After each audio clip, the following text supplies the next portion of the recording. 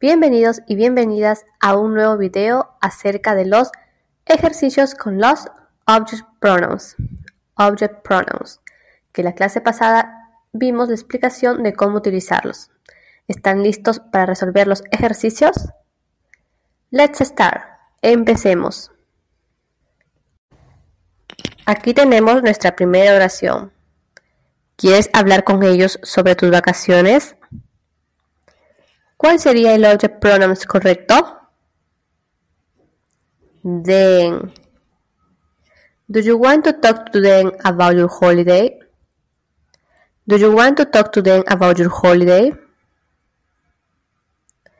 Ahora tenemos la siguiente. Mi amiga me escribe una carta todos los viernes. El object pronouns correcto es me. My friend writes me a letter every Friday. My friend writes me a letter every Friday. En la siguiente oración tenemos, ¿está ella casada contigo? El object pronouns correcto es you. Is she married with you? Is she married with you? Ahora tenemos la siguiente oración. Yo voy al gimnasio con él. El object pronouns correcto es him. I go to the gym with him. I go to the gym with him. Ahora tenemos esta oración. Peter hace su tarea con ella. El object pronoun correcto es her. Peter does his homework with her. Peter does his homework with her. Ahora tenemos John almorzó con nosotros.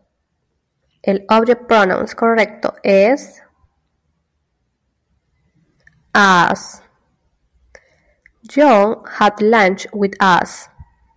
John had lunch with us. La siguiente oración nos dice, Marco fue al parque con ellos. El object pronoun correcto es them. Marco went to the park with them. Marco went to the park with them. Y la última oración dice, ella lo compra en la panadería. El object pronouns correcto es it.